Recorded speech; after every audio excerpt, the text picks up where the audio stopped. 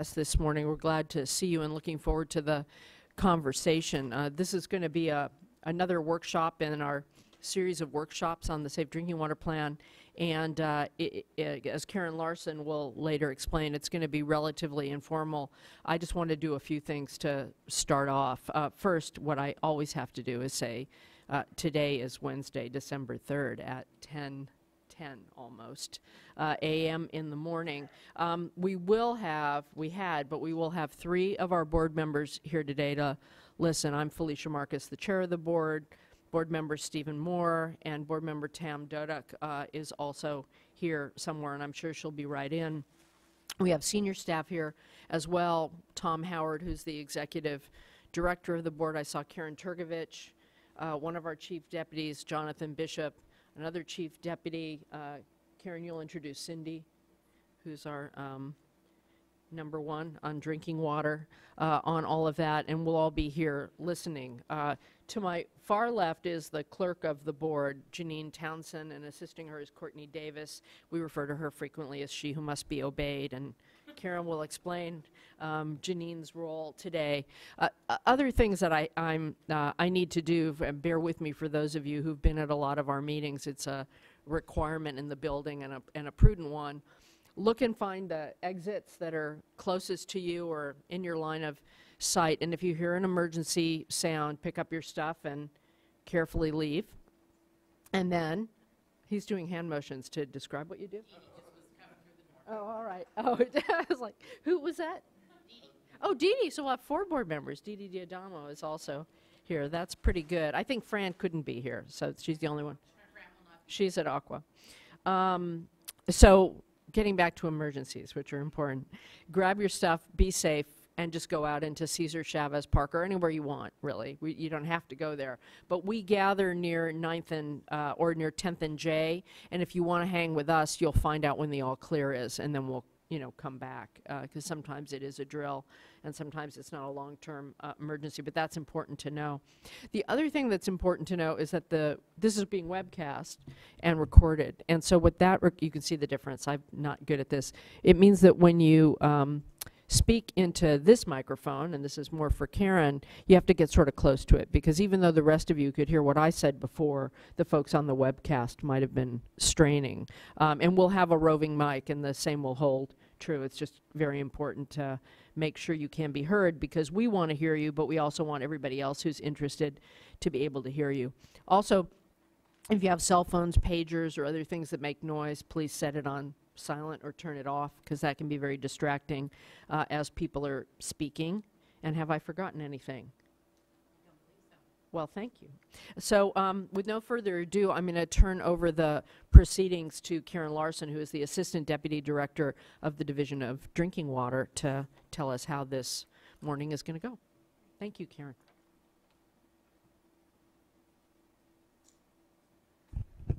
Thank you very much, Felicia. I guess I have to remember to get close to the mic. Uh, she already introduced me. I'd like to uh, start out by introducing the team and the staff from the Division of Drinking Water who are here in uh, the workshop. So I'll start with our Deputy Director of the Division of Drinking Water, uh, Cindy Forbes. And uh, actually, can we, hold on.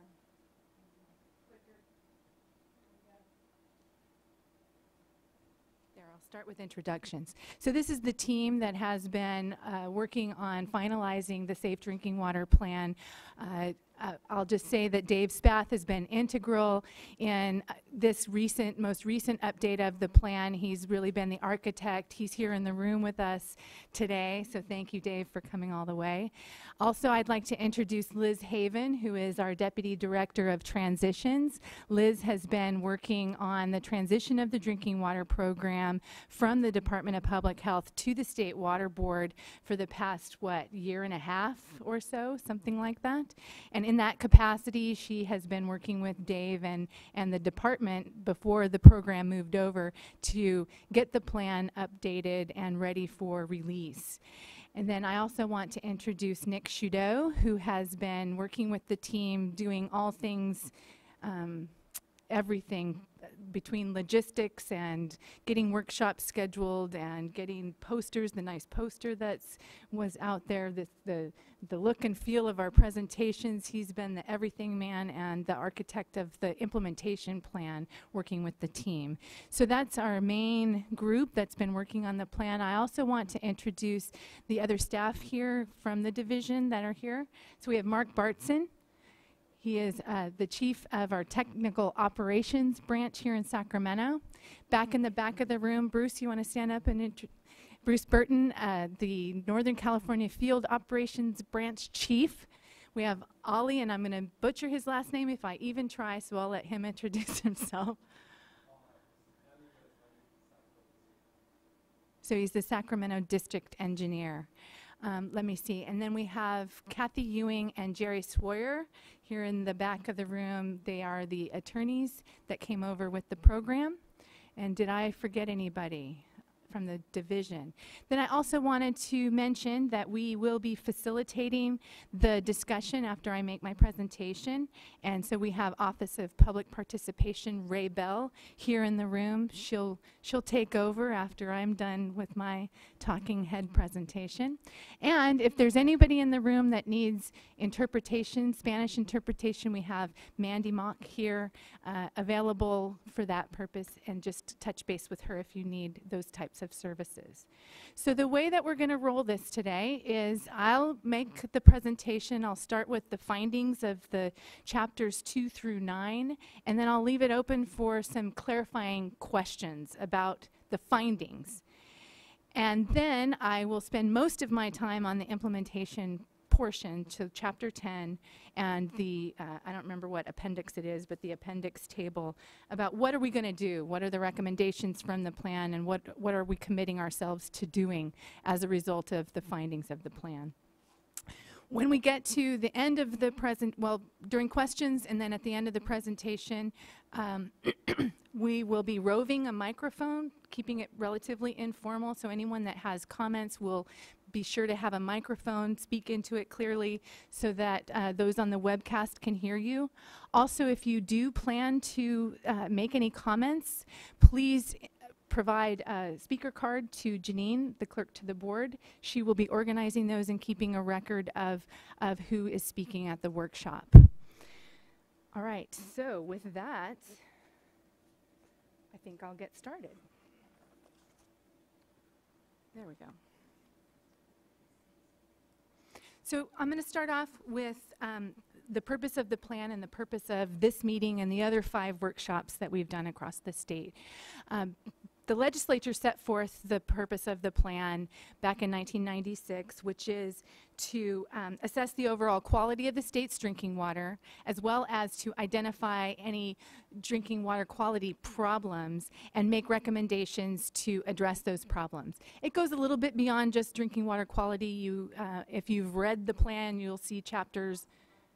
Oh, sorry, I'm not close enough. I have to eat it. Uh, Um, you'll see chapters on things like information systems and emergency response, and I will go over those. But the, the primary purpose of the plan is to really identify problems and make recommendations on how we plan to fix them.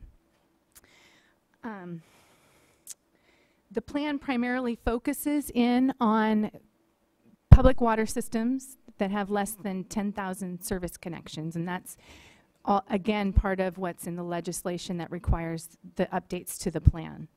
Now, that leaves out very small systems, those that have less than 15 connections and domestic wells, and we recognize that there are many water quality problems across the state in for those very small systems and uh, that those problems are not going to be solved quickly. They're pretty complex and pretty wide um, spread but that um, we are committed to doing what we can and partnering with local agencies and uh, entities to help those folks that are served by very small systems, not a public water system.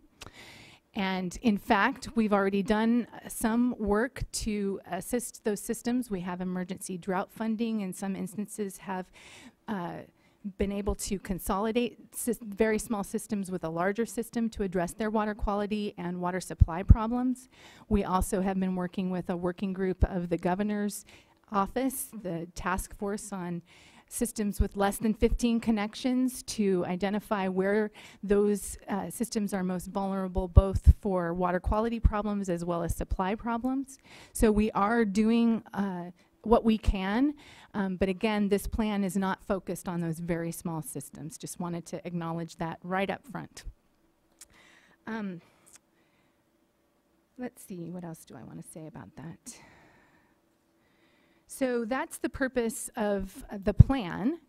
And the purpose of this meeting and the other five workshops that we've held around the state is to get input from stakeholders on the plan and um, give you an opportunity to ask questions and provide input before we finalize the plan. At the end of my presentation, I have a slide on the timeline and what our plans are for finalizing it, and so I'll, I'll wait uh, till then to tee that up. All right.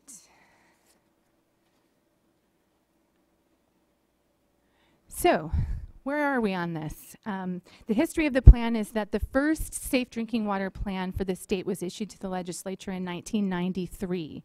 Subsequent to that plan, and actually it was quite a thick document. Cindy has one in her office. It's a, it's quite a, a an encyclopedia. uh, subsequent to that, the legislature uh, adopted legislation that required periodic updates to the plan. So every five years, the Department of Public Health, actually I think it was DHS at the time, uh, was required to update the plan every five years. And there was some effort to update it in 1998, and uh, yet no, no updates to the plan have been issued since 1993. So the department was sued for not updating the plan and had a settlement agreement that required them to update the plan and issue it to the legislature by October 6th of 2014, which of course was about two months ago. During that interim period, there was a lot of discussion about moving the division of, or excuse me, the drinking water program from the Department of Public Health to the State Water Board. And in fact, that did occur this past July 1st. The program was moved over to the State Water Board. And so we became the implementers, we, the water boards, became the implementers of the plan. So we negotiated with the plaintiffs and they agreed to allow us to issue a draft of the plan and hold these workshops across the state to get input and then to finalize the plan no later than June 15th of 2015. So that I'll, I'll tell you the next steps in the plan for getting there.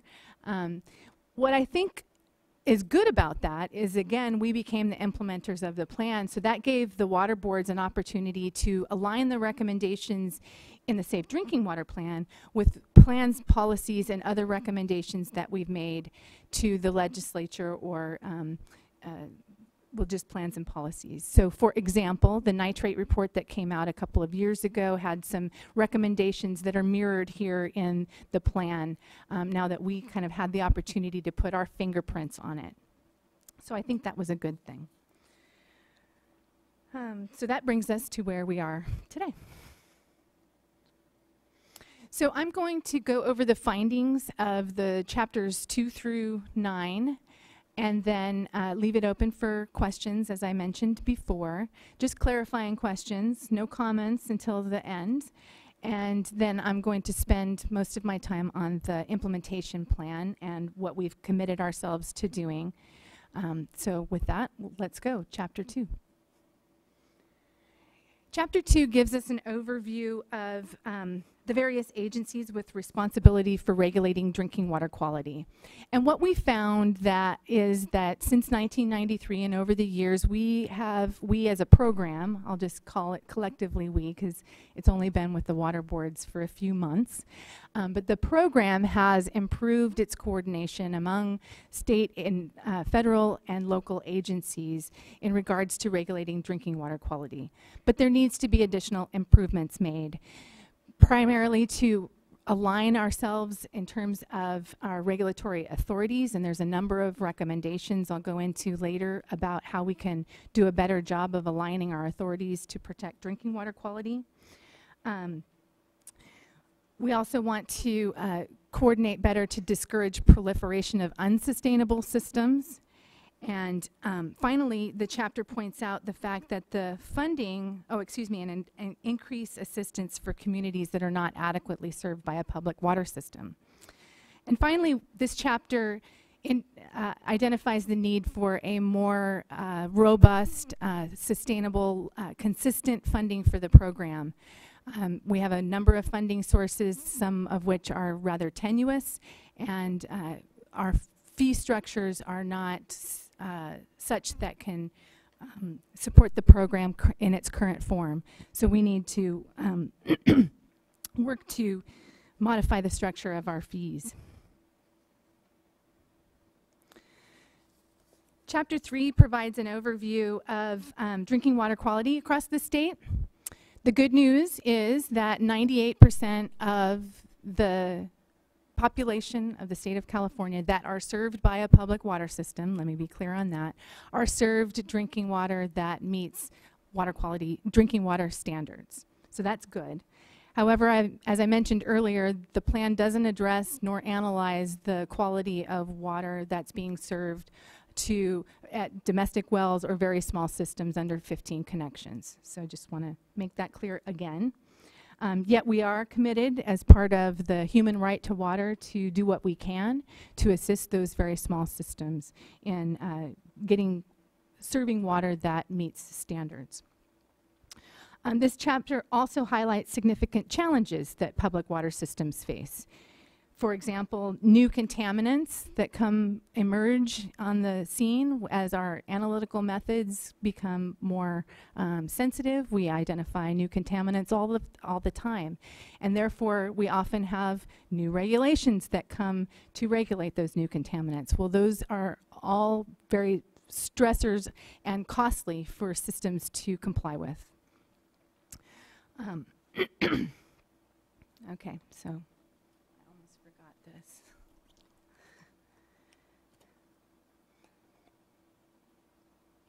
There's additionally uh, increasing stresses on public water systems in terms of and, and supply resources, including climate change, um, vulnerability to emergencies and incidents, population growth, um, and as a result, new sources of drinking water are going to need to be explored, for example, recycled water. Um, finally, all of these increasing challenges are all the more acute for small public water systems, many of which lack the expertise and funding to operate and maintain the complex treatment systems that are needed to treat water to meet drinking water standards. And the, this lack of operations and maintenance capacity in many of these very small, the small systems are severe, severely impacts drinking water quality that um, these systems deliver. All right, moving on to chapter four, where we focus on the challenges that small water systems face in meeting drinking water standards. And we found that most of the water quality issues uh, have been addressed with the exception of arsenic and nitrate, and then, of course, the upcoming uh, requirements for Chrome 6.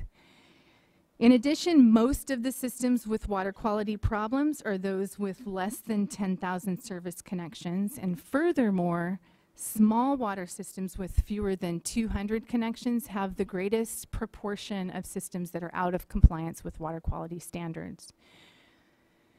So in 2012, the Drinking Water Program, when it was still at Public Health, created a small water systems plan whereby they identified 183 systems that they that were out of compliance with drinking water standards that the program would track and assist to get back into compliance.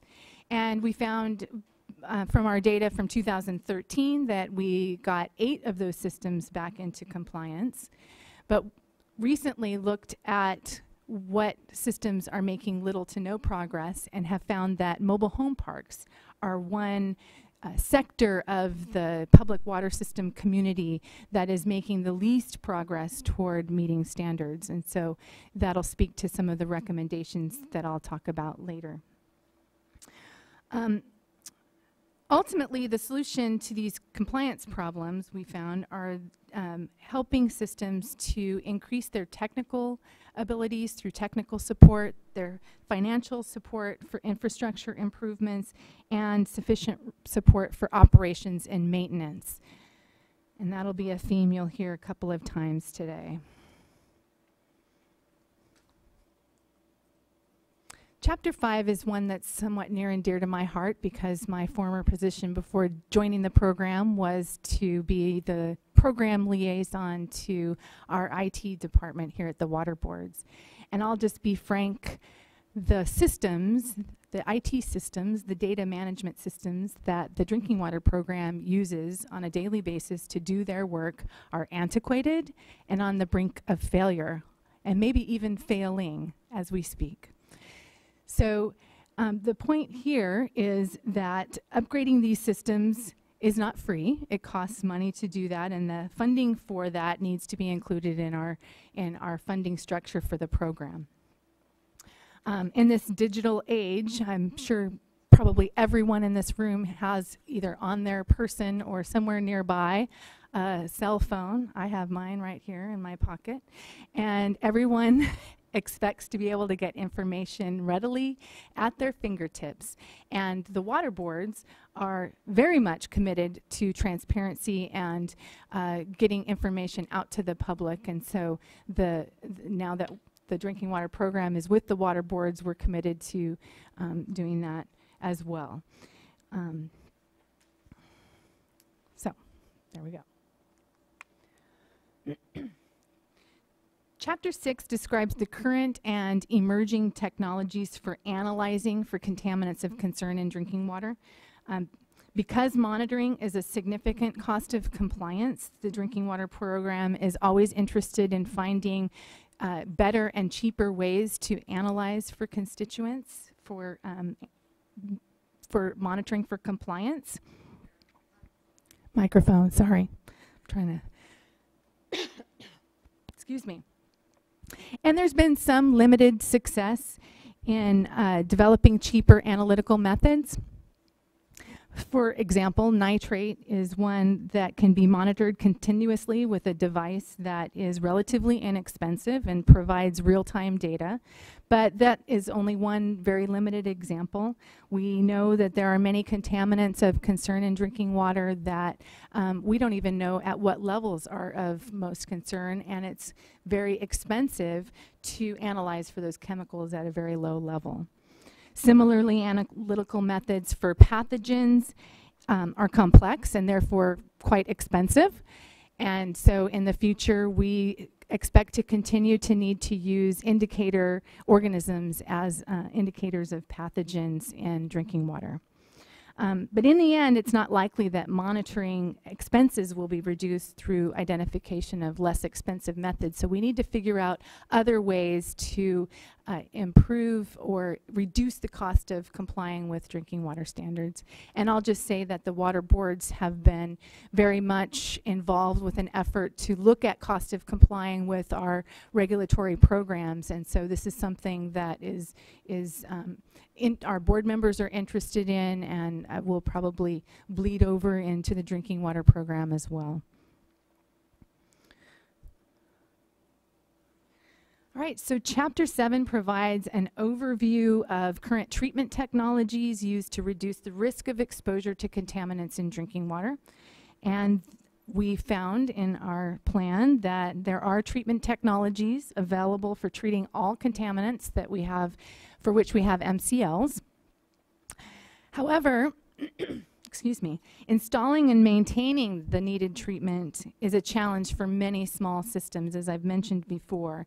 And I'll just reiterate that infrastructure improvements and added treatment technologies are useless unless a small system has the the funding and the expertise to maintain those systems in the future. There is a case study in the plan of a system that uh, got funding to install treatment for arsenic and had did not have the technical, managerial, and financial expertise to maintain that system, and it's currently not even online.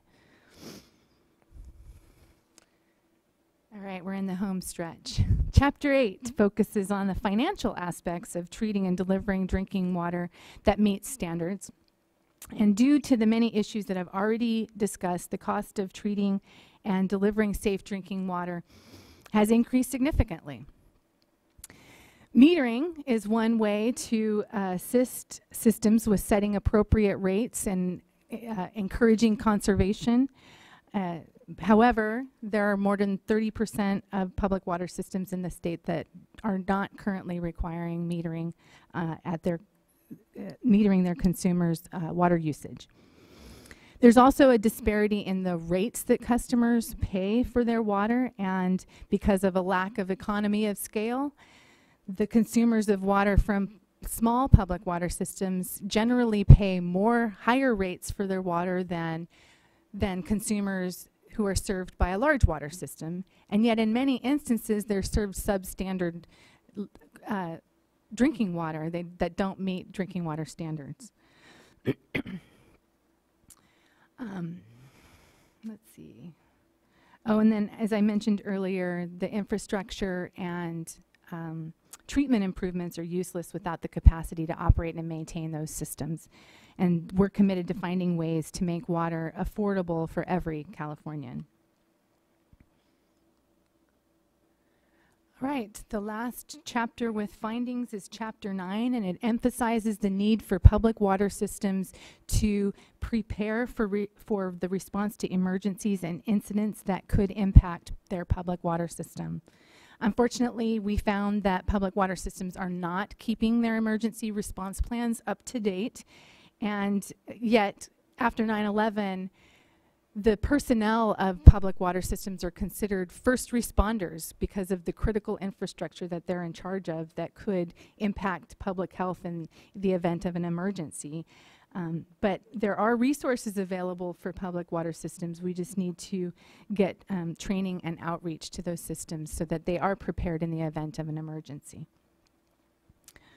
All right, so I'm going to stop there for a few minutes and ask if there are any clarifying questions from anyone in the audience on the findings. So this is not an opportunity to make comments, it's just clarifying questions, anything that you read in the plan in those chapters two through nine that wasn't clear or you needed more information. So I'll stop for just that for a minute. Is there anyone?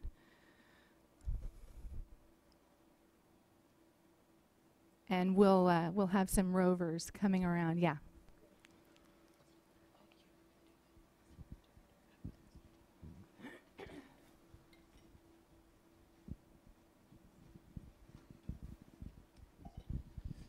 Hi, Karen. Uh, Brian Lawrence and Larry Walker Associates. Was there any scope um, to look at, uh, so, I mean, and, and, what was the scope, I guess, to look at uh, source, especially surface water, uh, source water uh, quality? Um, it was a little confusing reading through it, you know, knowing when you were talking about the supply side versus the source side.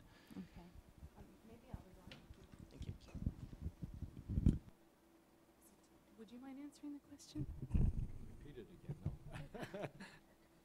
Could, if you could repeat. Here, I'll repeat the, was there any assessment of source water quality as part of the plan? Well, part of the, uh, the monitoring that goes on is on source water quality to start out with. So uh, a lot of chapter um, three reflected um, both source water quality and finished water quality. In fact, chapter four was more on finished water quality. Chapter three was reflective of source water quality. So um, I think it may not have been quite clear with regard to that, but that's the way the, the two chapters were structured.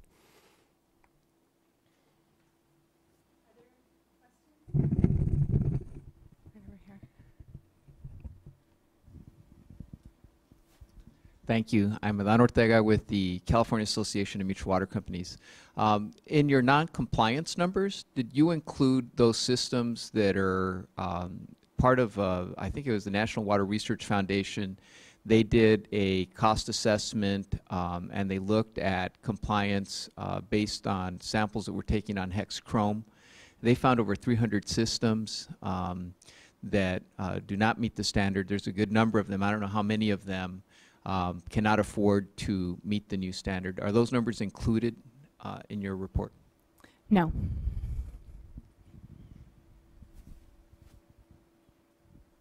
Other clarifying questions?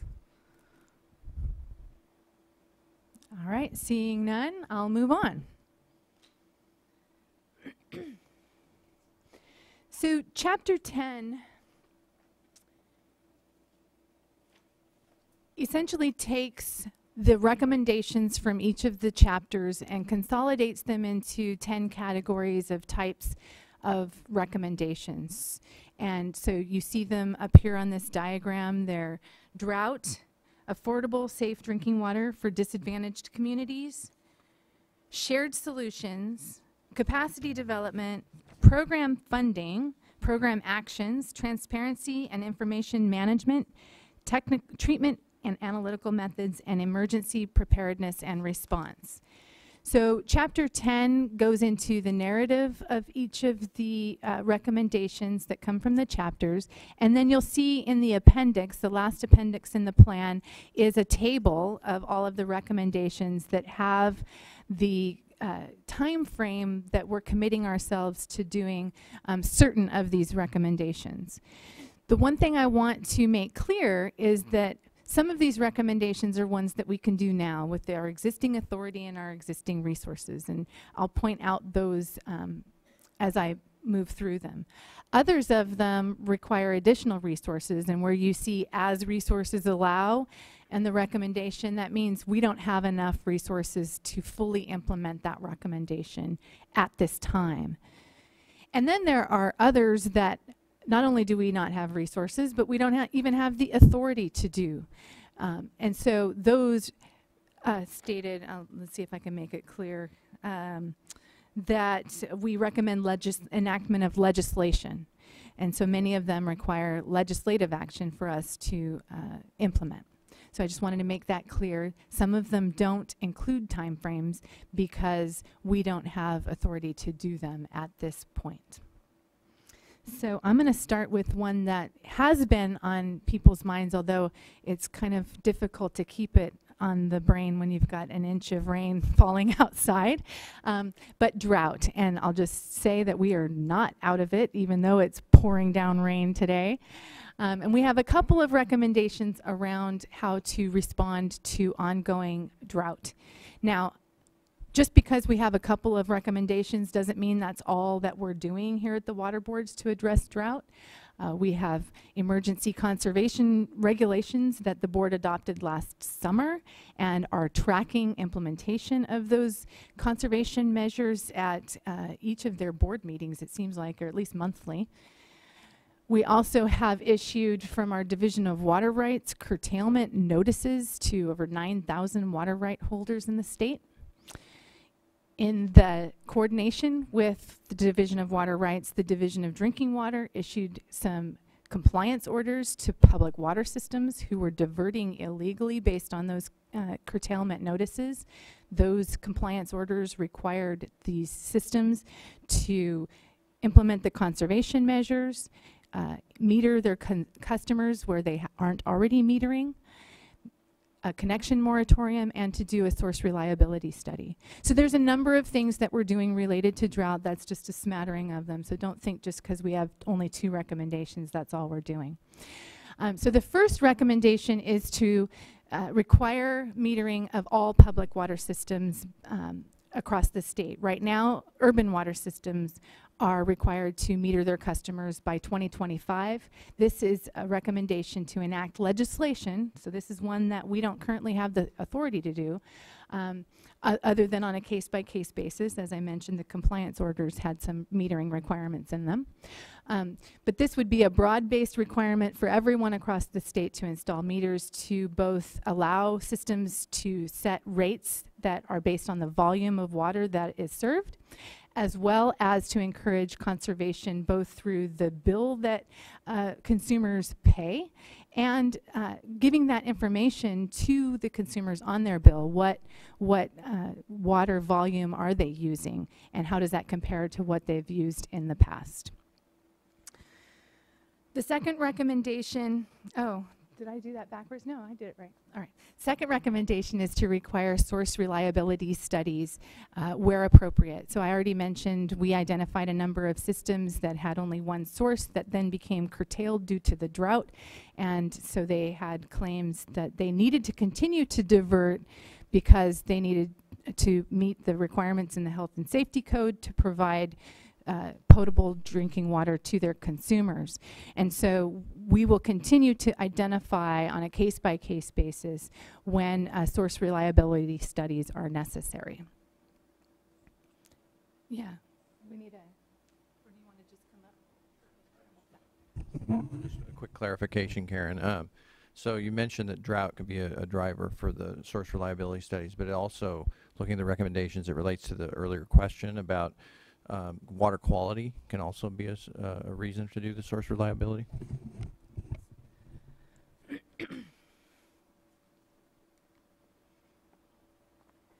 All right, this is the, the longest section. Affordable, safe drinking water um, for disadvantaged communities. So um, there's a laundry list of recommendations here, and I'll just start from the top. This is essentially our uh, recommendations combined to meet our goal of um, affordable, safe drinking water, but also uh, the human right to water across the state and particularly focused on disadvantaged communities. So the first two recommendations are around coordinating with local agencies to um, uh, to address drinking water quality issues in very in small systems and they come in a couple of flavors. The first one is addressing where there are public water systems and consumers uh, served by public water systems.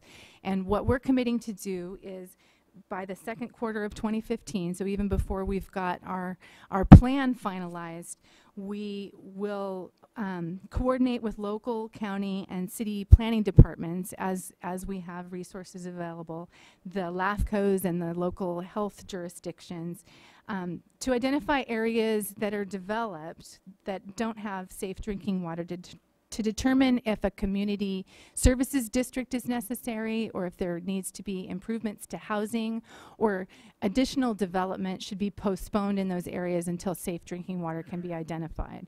So the first one is all around public water systems. The second is a commitment to working again with those local planning departments and local health jurisdictions to do what we can to address drinking water quality problems in very small systems. So less than 15 connections, domestic wells, those kinds of things. So the first one is one where we clearly have regulatory authority. The second is more to partner with the local agencies to address the very small systems. So that's 2-3 and 2-4 at the top of the list. 2-7 is a recommendation to provide funding for infrastructure improvements for small public water systems that don't currently serve water that meets drinking water standards. So infrastructure improvements such as additional treatment, um, improvements to distribution systems, those kinds of things. And this was an this recommendation had an eye toward the bond that we all just passed last month. And so that is now in place and we probably will be needing to update the plan to acknowledge that. There's $260 million in the Prop 1 budget for drinking water for disadvantaged communities. And we are currently working on how those funds will be um, allocated and distributed among, um, first internally and then how uh, we'll be implementing that grant program into the future. And we're working closely with our Division of Financial Assistance to uh, figure all of that out. All right, so I'm going to point out that 4-3 and 4-5 look very similar. So 4-3 is a reiteration of a recommendation that came from our nitrate report, which um, recommends um, that we have legislation to address where nitrate is a problem in disadvantaged communities and recommends some funding sources that could be used or uh, could be proposed to be used to su- support um, cleaning up nitrate or um, figuring out how to um, address both the treatment technology infrastructure improvements, but also operation and maintenance of those systems in disadvantaged communities. I'm going to skip to 4-5 because it's also related to funding for operations and maintenance. And 4-5 is more focused on other types of constituents. So nitrate has very specific sources and nitrogen uh, containing fertilizer material tax, those kinds of funding sources are um, appropriate for nitrate, but what do we do about naturally occurring constituents such as arsenic and um, in many instances chrome 6? Um, so 4-5 talks about the need to have operations and maintenance funding to um, install and maintain systems for treating those types of constituents. Then I'll go back to 4-4, which is that we will commit to ongoing commitment to work with the regional water boards to identify where a responsible party is responsible for contamination of a source of drinking water and require under our cleanup and abatement authority the responsible party to mitigate the contamination as well as provide uh, alternative uh, bottled water, for example, or interim water to uh, the consumers so that they're um, they're receiving safe drinking water while the cleanup is happening, if that's feasible. All right, 8-4 is, um, oh, and I'll just say that we are committing in 4-4 on an ongoing basis to work with the regional board, so that's something we'll continue to commit to doing. 8-4 is um, related to the fact that there are many individuals and families that are served drinking water that does meet standards, but that it's not affordable. So there's, uh, this can be in rural, rural communities as well as urban communities. And so this is a recommendation for the legislature to consider some sort of um, tax credit for these individuals to, uh, to help them be able to afford the drinking water, even though they, they are in a disadvantaged community, but they're being served um, quali high quality drinking water or water quality that meets drinking water standards, um, and yet it's not affordable. 8-6, we are committing to annually assessing alternatives for uh, helping small disadvantaged communities to uh, build the capacity for uh, treating their drinking water and delivering uh, water that is um, safe for their consumers. This is related to a process we do every year, which we identify alternatives and make pro um, proposals for legislation um, annually. And so we're committing ourselves to doing that each year. And then finally, we recommend uh, continuing emergency grant funds to help disadvantaged communities that have um, serious water quality problems. All right. So the governor's stakeholder group on drinking water um, met for several months, um, primarily uh, as a result of the nitrate report that came out from the water boards. And they talked a lot about this concept of shared solutions or regional solutions. And so we combined a few of our recommendations that speak to that concept of shared solutions. So um, we're committing on an ongoing basis to encourage large water systems to assist small water systems in sampling and analysis, um, particularly for the small systems that are out of compliance.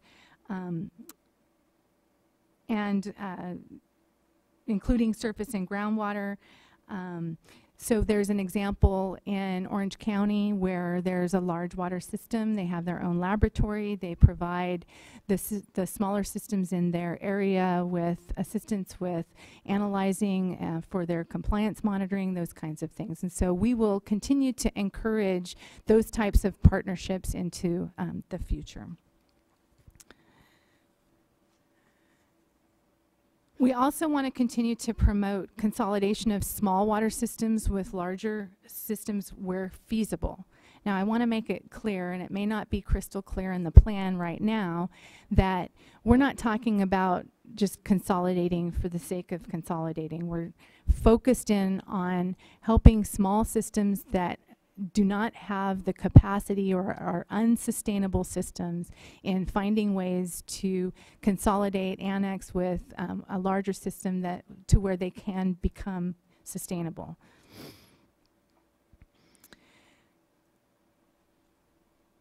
And finally, um, we recommend enactment of legislation to mandate um, consolidation in some instances.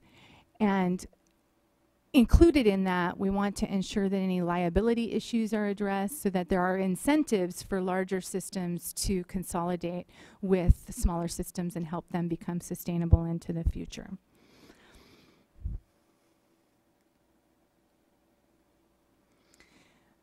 So staying with the theme of helping small water systems, we've got a section on capacity development. The drinking water program for many years has had federal funding for a capacity development program.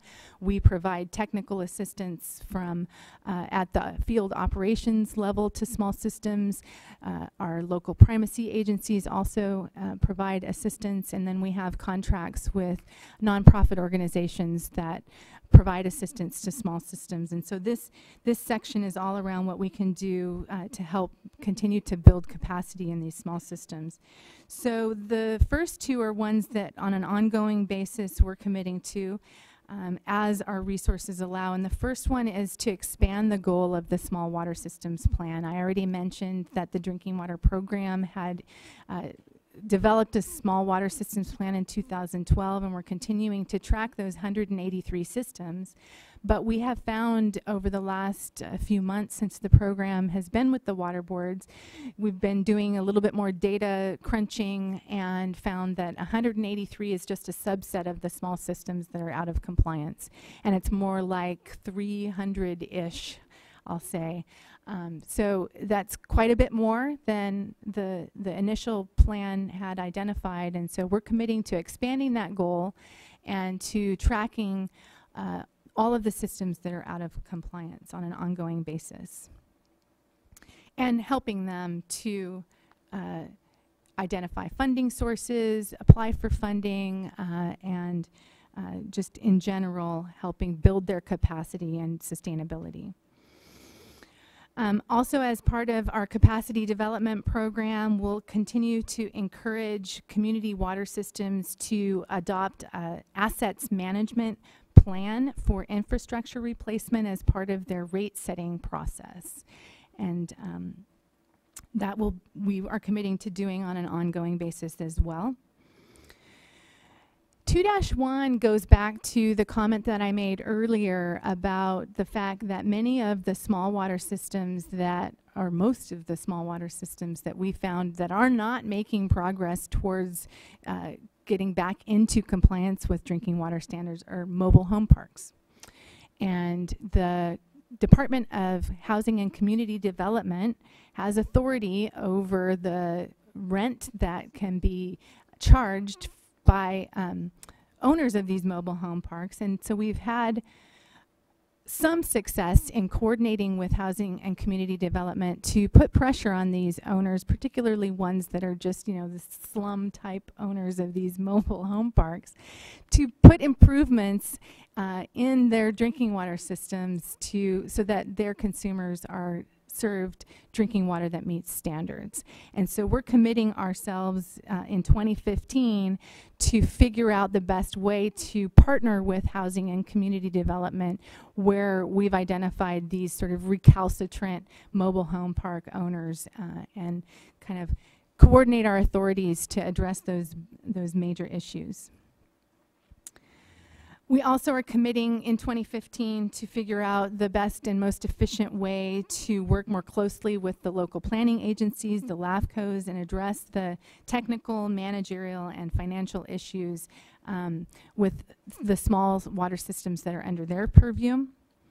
And on an ongoing basis, we're committing to exploring the possible funding sources to uh, provide training to operators so that we improve the expertise available to these small water systems um, for their operators to operate and maintain their systems. So program funding, this is a short one, and I already mentioned that uh, we currently don't have um, a consistent and reliable uh, source of funding to sustain the drinking water program, and this is a recommendation to enact legislation that provides the program with appropriate funding so that we can meet the goals that we've identified in this plan.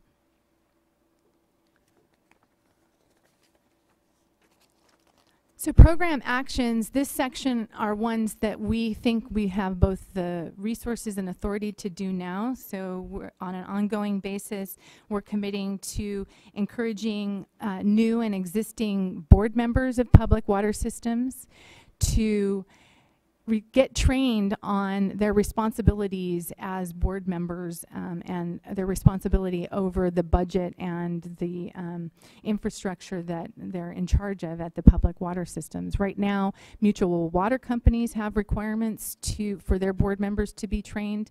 We would like to um, encourage that to be expanded to all types of water systems across the state.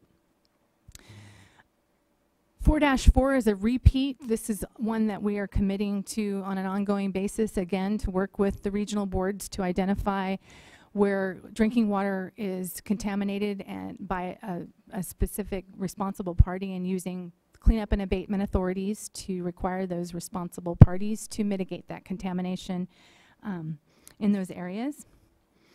And then 8-2 relates to the struggle that many systems have in setting rates and um, setting appropriate rates that allow them to operate and maintain their systems, uh, make infrastructure improvements.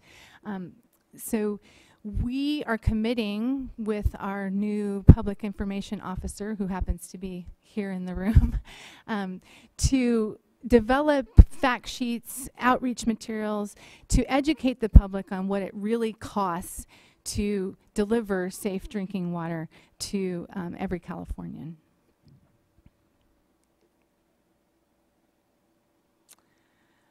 Transparency and information management, I already mentioned that it's critical that we have information systems that we can use to do our daily work, but also to make information available to the public and to decision makers.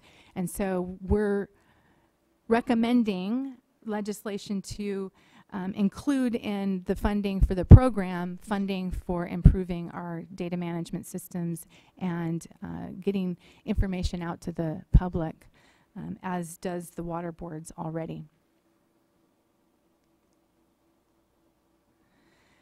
All right, the section on treatment and analytical methods is basically the recommendations here are ones that we're committing ourselves to doing on an ongoing basis, which is to continue to coordinate research needs, uh, including methods for testing for microbes using emerging technologies, um, faster technologies, possibly less expensive.